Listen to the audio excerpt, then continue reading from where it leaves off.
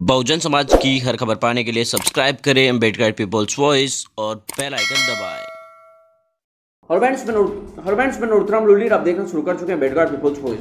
समय हो चुका है सुपर फाइव का, यानी आज की पाँच बड़ी खबरों का। दिन भर क्या कुछ खास रहता है, वो पाँच बड़ी खबरें आप देखते हैं सुपर फाइव में। आज की पाँच बड़ी खबरें क्या कुछ है वो हम आपको सुपर फाइव में बताते हैं। सबसे बड़ी खबर यही कि अजीत जोगी, जो बहुजन समाज के कद्दावर नेताओं में से एक है, वो आज हमारे बीच नहीं रहे। दूसरी बड़ी खबर आपको बता दें कि बसपा सुप्रीमो मायावती जी ने केंद्र सरकार पर एक बार फिर से निशाना साधा। तीसरी बड़ी खबर, अखिलेश यादव ने कहा कि बीजेपी और कांग्रेस से उनका किसी भी प्रकार से कोई ताल्लुकात नहीं है और नई उनकी पार्टी उनसे गठबंधन करेगी।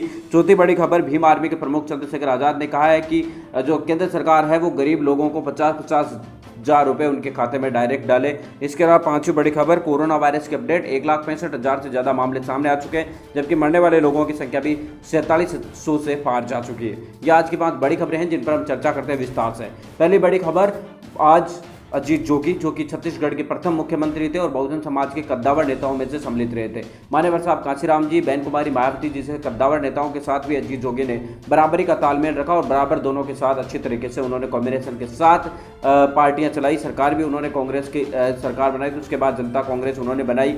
मान्यवर साहब कांशीराम जी का भी साथ दिया, बैन जी का भी साथ दिया और उस समय आज वो चौहत्तर साल की उम्र में हम लोगों को छोड़कर चले गए। इस मामले में बहुजन समाज पार्टी की सुप्रीमो मायावती जी, अखिलेश यादव, चंद्रशेखर आज़ाद सहित तमाम लोगों ने भी दुख व्यक्त किया। दूसरी बड़ी खबर भी बसपा, सुप्रीमो, मायावती जी ने एक बार फिर से केंद्र सरकार पर, राज्य सरकारों पर निशाना साधा होता उन्होंने कहा कि सरकारों की सबसे पहली प्राथमिकता ये होनी चाहिए कि प्रवासी मजदूर जो है, उनको घरों पर छोड़ा जाए। और दूसरी जो प्राथमिकता है, वो ये होनी चाहिए कि जो लोगों को घरों पर छोड़ दिया गया है, उन लोगों को उनके घरों के आसपास रोज़गार और रोजी रोटी की व्यवस्था करें। अगर सरकारें रोजी रोटी की व्यवस्था करने में नाकाम होती है तो आने आने वाले दिनों के अंदर काफ़ी ज़्यादा मुश्किलें खड़ी हो सकती है। तीसरी बड़ी खबर, अखिलेश यादव ने आज न्यूज़ 24 एबीपी न्यूज़ कार्यक्रमों के अंदर सम्मिलित होते हुए बड़ी बातें कही। उन्होंने कहा कि बीजेपी और कांग्रेस दोनों जो है एक जैसी है। उन्होंने कहा बीजेपी और कांग्रेस दोनों की राजनीति करने पर तुली हुई है। उन्होंने कहा कि बीजेपी और कांग्रेस जो पार्टियाँ हैं, वो हर हालत के अंदर इस तरीके से कर रही है, जिस तरीके से राजनीति मजदूरों के नाम पर नहीं होनी चाहिए। उन्होंने कहा कि बीजेपी और कांग्रेस के साथ उनकी पार्टी किसी भी तरीके से आगे आने वाले दिनों के अंदर गठबंधन नहीं करेगी। चौथी बड़ी खबर की रुख करते आपको बता दें कि भीम आर्मी के प्रमुख चंद्रशेखर आज़ाद की तरफ़ से आज एक प्रेस नोट जारी किया गया।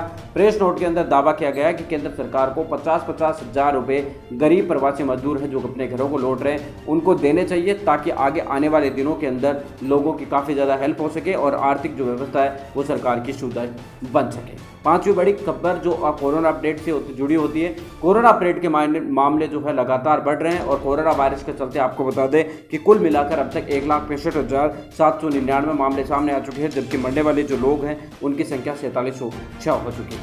मिलेंगे इस नए वीडियो नए अपडेटों के साथ। तब तक आपसे लेते विदा, लाइक कीजिए, कमेंट कीजिए और शेयर करना बिल्कुल ना भूलें।